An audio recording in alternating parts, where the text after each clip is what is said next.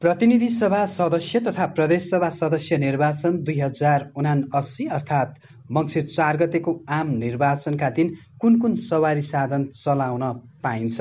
अर्थात् सवारी साधन कुन कुन चलाउन चाहिँ अनुमति आवश्यक पर्दैन र ककसले सवारी साधन चलाउन पाइन्छ त?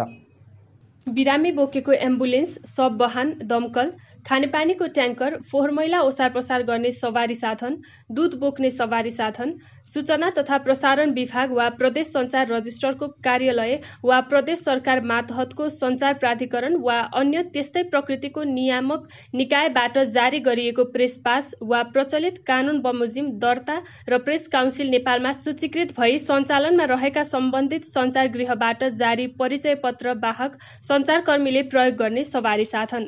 दूरसञ्चार तथा केवल सेवाका लागि प्रयोग हुने सवारी साधन। अस्पतालमा कार्यरत परिचय पत्र प्राप्त चिकित्सक स्वास्थ्यकर्मी तथा कर्मचारीको आवागमनका लागि प्रयोग हुने सवारी साधन।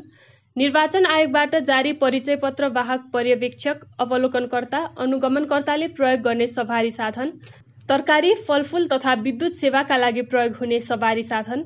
कूटनीतिक नियोग युएन एजेन्सी द्विपक्षीय तथा बहुपक्षीय विकास साझेदार संस्थाहरूमा कार्यरत पदाधिकारी एवं कर्मचारीले प्रयोग गर्ने निलो नम्बर प्लेट भएका सवारी साधन विदेशी पर्यटक मात्र बोकेको हरियो नम्बर प्लेट भएको सवारी साधन सुरक्षाकर्मीले प्रयोग गर्ने सुरक्षा निकायको सवारी साधन र आफू खटिएको मतदान केन्द्रसम्म जान र मतदान केन्द्रबाट फर्किनका लागि मतदान कार्यमा खटिने कर्मचारी तथा स्वयंसेवकले प्रयोग गर्ने सवारी साधन।